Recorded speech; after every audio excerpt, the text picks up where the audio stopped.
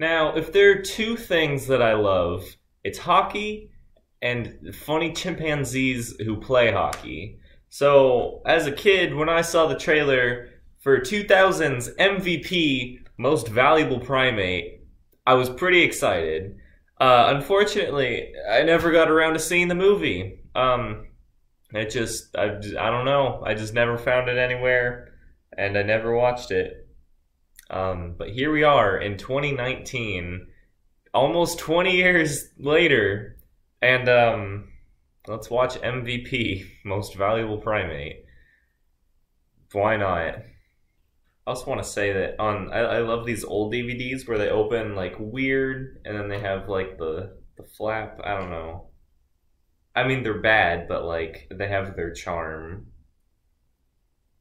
Maybe that's foreshadowing. I, I don't know. Let's let's watch the movie now. The movie opens up introducing us to our main character, Jack, an extremely intelligent chimp working at a university. And they do a really good job of getting us attached to this character and getting us excited for this awesome adventure with this funny chimpanzee. Wait. I thought we we were just we were just introduced to Jack. We spent the we, we spent the first couple minutes introducing us to Jack and now Jack is gone and we have the, the what? What is? Gotcha. So the movie starts in, introducing us to Jack, and then it immediately cuts to these two kids playing hockey, and then they hug, and then it cuts right back to Jack immediately after. I am here for the funny monkey, okay? I don't care about these kids. That aside, what a weird way to introduce your characters. Just stop what you're doing, show them, and then go right back to what you were doing. So, right after whatever that was, uh, we cut back to Jack and his teacher friend teaching a college class. But Jack is a big, silly, funny monkey, and he's not doing what he's supposed to do. Jack, how is anybody gonna believe that you're a genius when you behave like this.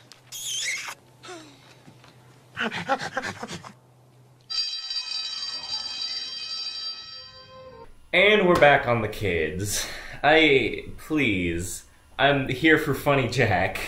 Tara is the new kid in class, and she is very upset because she was not invited to this birthday party that all of the other kids were invited to when really these kids are just idiots and they're throwing the invitations all over the place. I don't know what is wrong with them, and one of them gets lost, and of course, it is Tara's. First of all, who passes invitations out like that? Uh, but more importantly, that is never resolved. They never find the invitation. She never ends up going to the party or making friends with the kids of her class.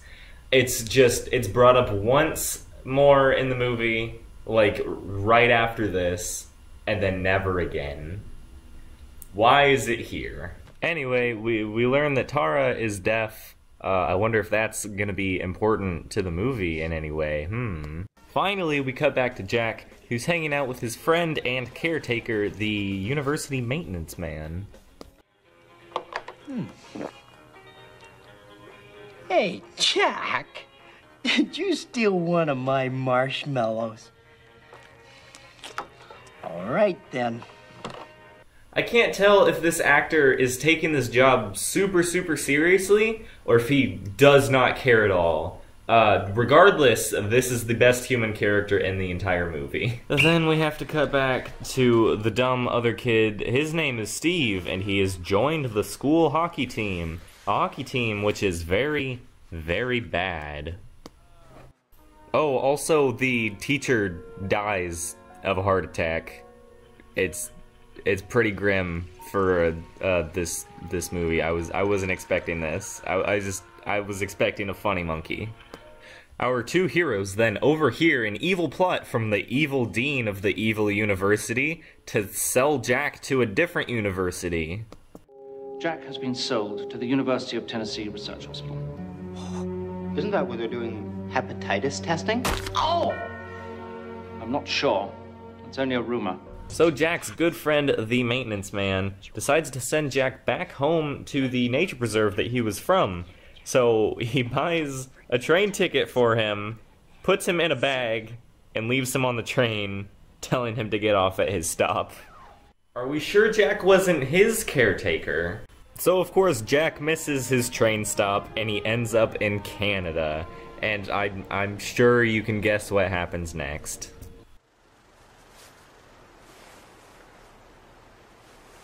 Did you see a monkey in the woods? Excuse me, what was that? Did you see a monkey in the woods? I'm sorry, one, one more time? Did you see a monkey in the woods?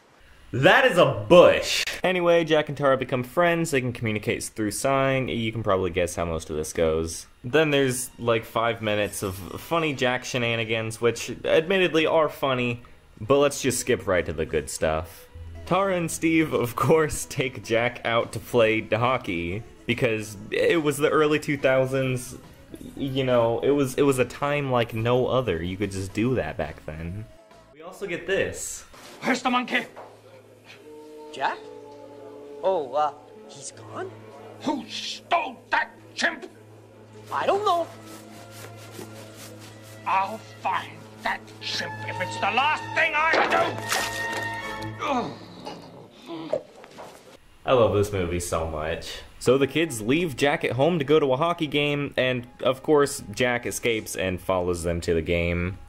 Steve's team is losing horribly, as it always does. Meanwhile, Jack goes into the changing room and finds a little chimpanzee sized uniform to pl- go play hockey in. And uh, get ready because this is the greatest part of the entire movie right here.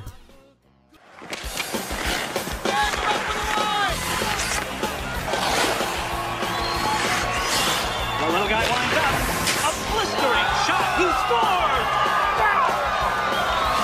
So instead of calling animal control or anything, uh, the board of hockey decides that uh, Jack should be allowed to play because it would boost ticket sales, and also, yeah, that's pretty much it. The 90s and early 2000s were weird.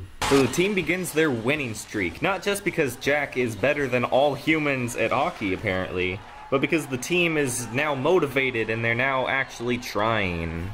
All except for one, so Steve begins working with the goalie to see what the issue is. You can't see, can you? Of course I can see. I didn't shoot the puck, Magoo. Well, I can see the big things. Magoo, you're a goalie. Come on, I got an idea. The goalie's character arc is that he buys glasses.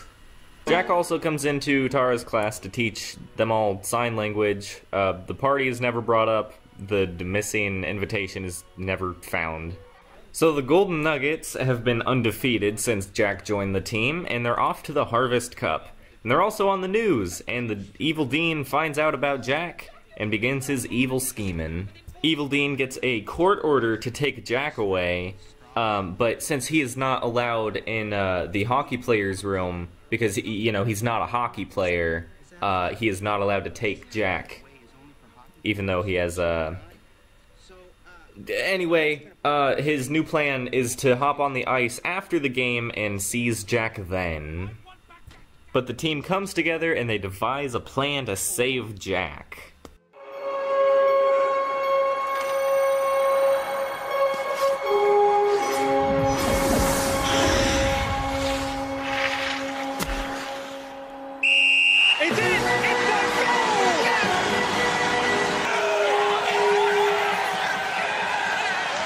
So they switch Jack out with Tara at the last minute.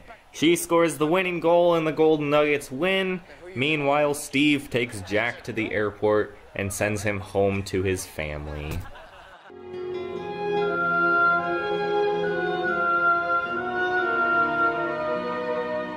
So Jack goes back to the wildlife preserve, and uh, the maintenance guy from the university works here now, apparently, somehow.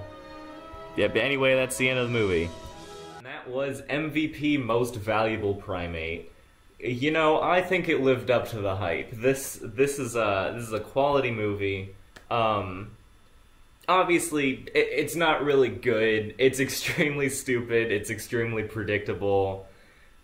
But it's it's honestly so much fun. If you like hockey, if you like funny chimps, I highly recommend this movie.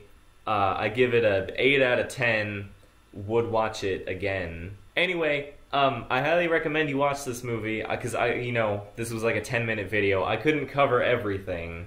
Uh, there's there's a lot to take in with this movie. Uh, I don't. I feel like I can't really do it justice, so you should watch it on your own if you get the chance. Anyway, that's the end of this, whatever this was, and um, have a fantastic day, monkey.